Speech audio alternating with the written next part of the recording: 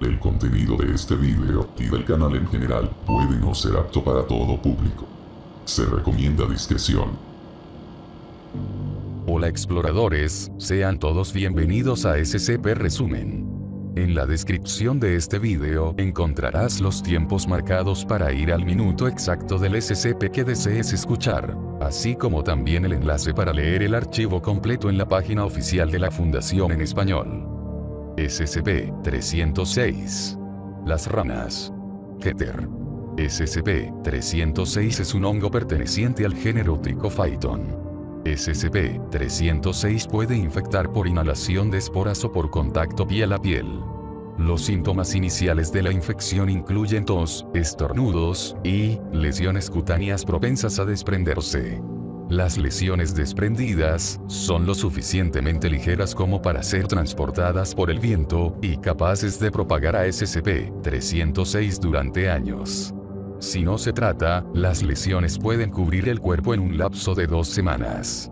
SCP-306 puede crecer en casi toda la materia biológica, sin embargo, su principal propiedad anómala, solo se manifiesta cuando crece en tejido humano.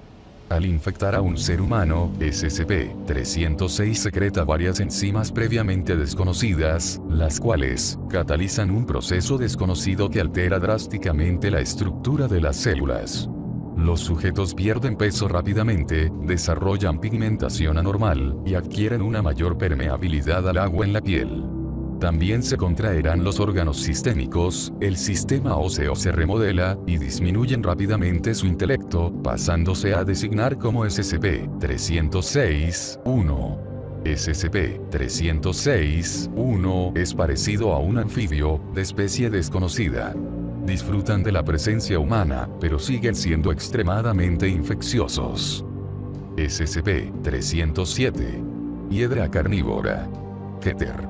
SCP-307 es una hiedra trepadora, similar en apariencia a la hiedra inglesa común, Hedera helix, excepto por la presencia de espinas verdosas en su tallo, y la tendencia de las hojas a exhibir un matiz púrpura.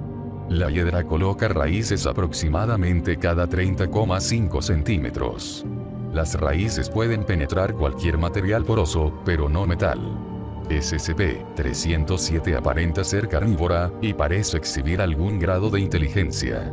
En presencia de un animal de sangre caliente, crecerá en una tasa sorprendentemente rápida en la dirección al animal, normalmente formando tres vides al mismo tiempo, en lo que aparenta ser una maniobra de flanqueo.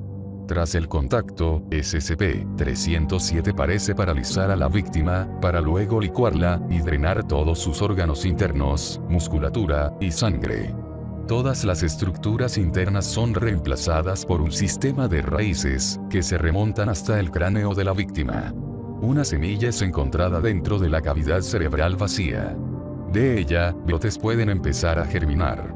SCP-306 ha mostrado ser altamente resistente a todo intento de envenenarla, incluyendo todos los herbicidas comercialmente disponibles, exposición a plantas alelopáticas, y formaldehído. SCP-308. Sarcófago funerario azteca. Seguro.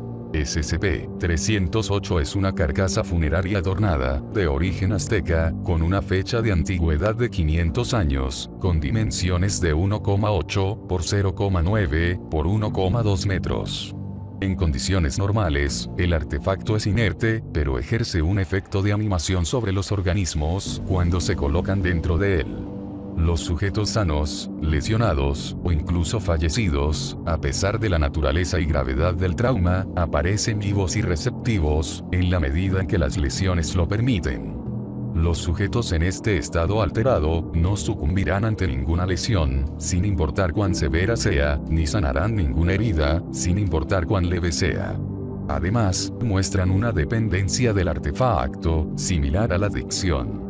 Lo único que un sujeto requiere para ser afectado por SCP-308 es la presencia de un corazón. Los sujetos con un corazón herido o enfermo serán animados, al igual que porciones de organismos o tejidos conectados a un corazón. Los individuos o partes del cuerpo sin corazón no se ven afectados. Incluso un corazón aislado, colocado en el contenedor, laterá a un ritmo normal.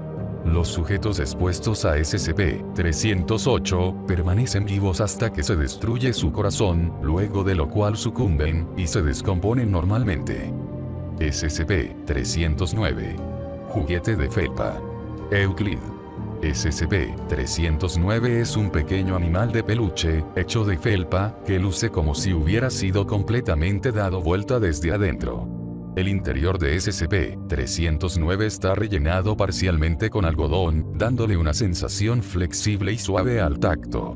SCP-309 no tiene efecto en objetos inanimados, sin embargo, el contacto con sujetos vivos es peligroso y pone en riesgo la vida. Los humanos y animales que rocen a SCP-309 con un dedo, o una parte similarmente pequeña del cuerpo, exhibirán a continuación, malestar inespecífico y severo, durante decenas de minutos. Los humanos, además, reportan sentir náuseas extremas, a pesar de que SCP-309 no induce vómitos. Si SCP-309 es presionado firmemente contra un sujeto, o tal sujeto rápidamente recoge a SCP-309 e intenta agarrarlo, será violenta y dolorosamente dado vuelta desde adentro, en el curso de 5 a 10 segundos.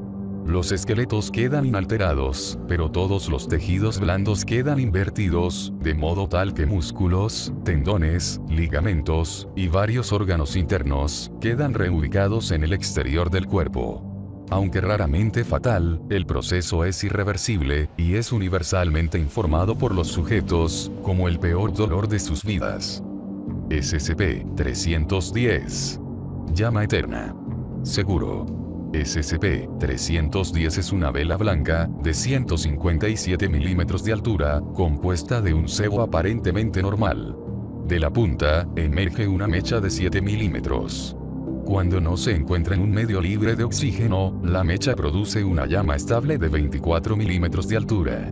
Esta llama se puede extinguir a través de medios convencionales, como privación de oxígeno, inmersión en fluidos no inflamables, aplicación de un flujo de aire repentino e intenso, sin embargo, al eliminar el factor inhibidor, la llama reaparece inmediatamente, comportándose como una vela mágica estándar. En ningún momento disminuye la cantidad de sebo, ni la altura total de SCP-310. El cebo retirado de SCP-310 es denominado SCP-310-01 y es reemplazado lentamente a través de medios desconocidos. Cualquier sustancia inflamable o semi-inflamable que entre en contacto con SCP-310 se incendiará con un fuego de propagación lenta. A diferencia de la llama de SCP-310, este fuego no puede extinguirse por ningún otro medio que no sea agotar su suministro de combustible. Cualquier objeto incendiado por SCP-310 se designa como SCP-310-02. Las llamas de los SCP-310-02 son capaces de propagarse a otros objetos inflamables o semi-inflamables.